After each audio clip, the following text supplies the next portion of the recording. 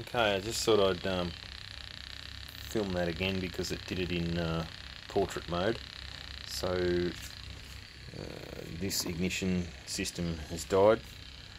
Um, so for the sake of testing my uh, Ed Gray shield, I've um, pulled out the old Australian made Rayview high frequency stimulator. And this is apparently a quack device that um, creates high voltage and runs through a tube. And you would run it on yourself to um, do some sort of health treatment. So what we've got there is a, a an oscillator, mechanical oscillator makes and breaks uh, basically a spark gap, a lot like a um, T-model Ford ignition system.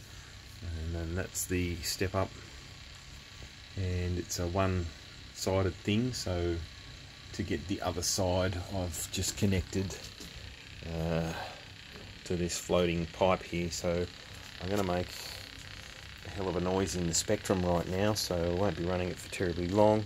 Here's a gouging rod with the hole drilled in the centre and a 316L stainless steel rod uh, that if you look at the Ed Gray setup you'll see that there's a, there's a resistive element in the spark gap arrangement.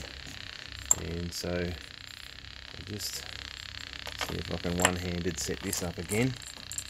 So there's a silicon insulation holding that somewhat centre I got a zap off these doorknob caps earlier. They'd uh, been sitting idle for a few hours and uh, they don't leak at all.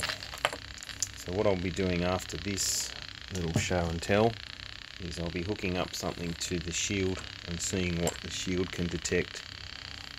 I've got a gas discharge uh, tube there to act as a safety gap and if I can get that to just hook up there without too much trouble.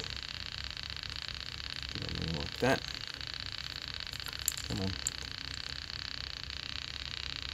Okay that should do. And I'll um, come in here like that and arc onto there. And I'll show you what's going on, the noise on the scope and you can hear what's going to be heard uh, all over the radio spectrum.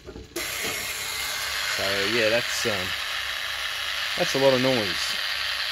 There's the scope shot. And I'll just bring this in here like this.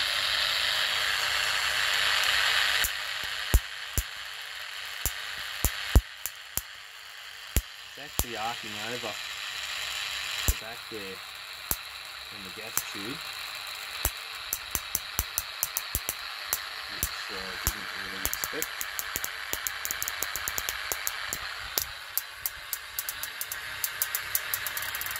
Saw a big wave then.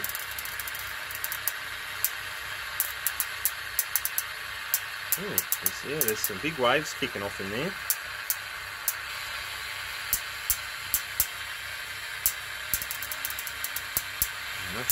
I think that's what we're looking for. Uh, stay tuned, guys.